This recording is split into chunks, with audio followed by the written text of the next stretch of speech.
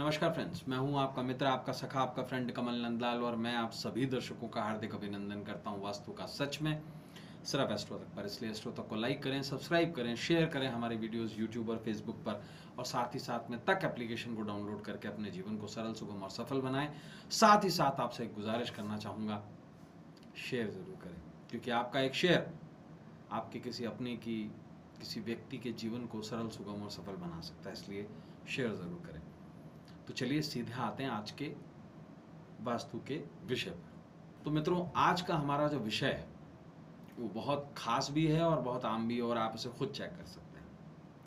कहीं आपका घर का मेन गेट इस रंग का तो नहीं, हो सकती है बड़ी बदनामी। सही सुना आपने और सही काम है आइए इस बारे में बात करते हैं। देखिए, वास्तु एक तरीके का विज्ञान है। इसको अंग्रेज़ी में कहा जाता है जियो बायोलॉजी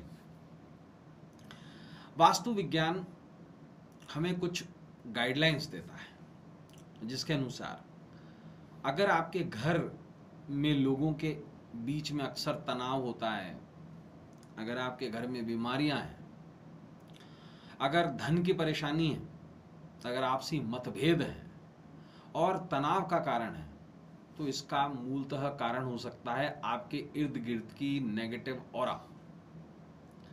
और ऐसे में ये वास्तु दोष कहलाता है। जिस किसी भी स्थान पर अगर आपको परेशानी महसूस हो रही है तो समझ लीजिए वो चीज़ आपके लिए ठीक नहीं है। और घर में ध्यान ना देने के कारण वास्तु दोष उत्पन्न होते हैं और परेशानियाँ बढ़ती हैं।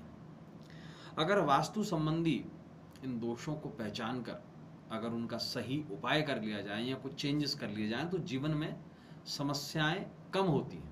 और सरलता आ जाती है और उसका समाधान हो जाता है समस्याओं का।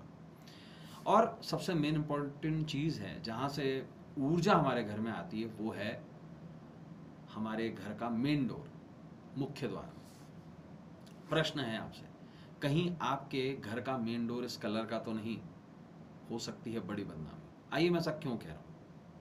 देखिए, अमूमन अब लोग छोटे घरों में रहने लगे हैं, फ्लैट्स में रहने लगे हैं, और अब एग्जैक्टली exactly, एक ज़माने में लोहे के दरवाजे होते थे गराज होता था, बहुत सारी चीज़ें होती थी। अब सिस्टम ख़त्म हो गया है थोड़ा सा लेकिन कुछ आज भी छोटे शहरों में, अत्याधिक छोटे शहरों में ऐसी चीज़ है ज़रूर। लेकिन क्या, मैं आम लोगों की बात कर रहा हूँ। आपके ड्राइंग रूम का, आप जहाँ पर लोग आते हैं या आप जहाँ से घर में एंट्री लेते हैं, कहीं उसका रंग, उस दरवाजे का रंग काला तो नहीं है? अगर ऐसा है मित्र तो ये समझ लीजिएगा, बदनामी पक्की है।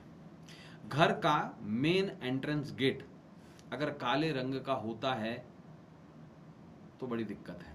वास्तु शास्त्र ये कहता है, और ये वास्तु गाइडलाइंस कहती हैं, कि घर के मुखिया को बड़ा कष्ट होता है इससे। बदनामी भी होती है, धोखे भी मिलते हैं, और अपशब्द सुनने पड़ते हैं दुनिया से। ये आप कंक्लूड करके देख लीजिएगा। जब भी किसी भी व्यक्ति के घर का मेन एंट्रेंस गेट अगर काला होगा, या उसके घर में काले रंग का चैनल गेट हुआ, बाहर जो सिक्योरिटी के लिए लगाते हैं ना तो यह ज़रूर दिक्कत आती है। एक बात को ध्यान में रखिए, इसे किसी भी तौर के से बहुत ज़्यादा डार्क नहीं होना है। कारण क्या है?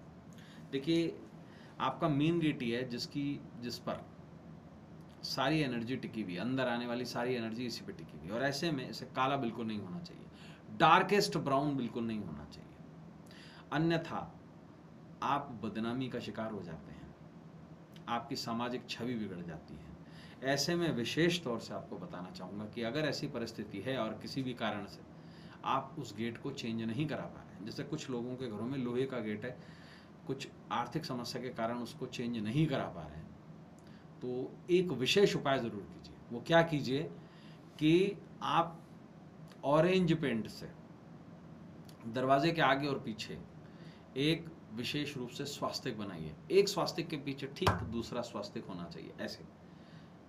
इस वाली कंडीशन में ध्यान रखिए गेट के इस तरफ़ और उस तरफ़। और विशेष तौर से ध्यान रखिएगा, स्वास्तिक के नीचे नौ बिंदियाँ बना लें। थ्री थ्री और थ्री नौ बिंदियाँ आगे भी और पीछे भी। और विशेष रूप से घर से इस नेगेटिव और को दूर करने के लिए विशेष रूप से एक ज़रूर काम करें। वो ये कि यहाँ पर गेट के बाहर की तरफ़ एक पंचमुखी हनुमान जी खड़ी अवस्था में पारद के ज़रूर लगाए। और विशेष तौर से हर अमावस्या के अमावस्या उन्हें चमेली के तेल और सिंदूर का चोला ज़रूर चढ़ाएँ और नियमित रूप से दीपक ज़रूर करें उनका। तो ये जो बदनामी का दोष है, ये काफ़ी हद तक खत्म हो जाएगा। तो मित्रों, आज के लिए बस इतना ही। कल आपसे फिर मुलाकात होगी। तब तक देखते रहें, श्रोता का पर अपने मित्र, अपने सखा, अपने फ्रेंड कमल नंदलाल को इस उम्मीद के साथ इजाज़त दीजिए कि आपका आने वाला कल आपसे कुछ बेहतर हो, शुभ हो। तब तक के लिए नमस्कार, नमः शिवाय।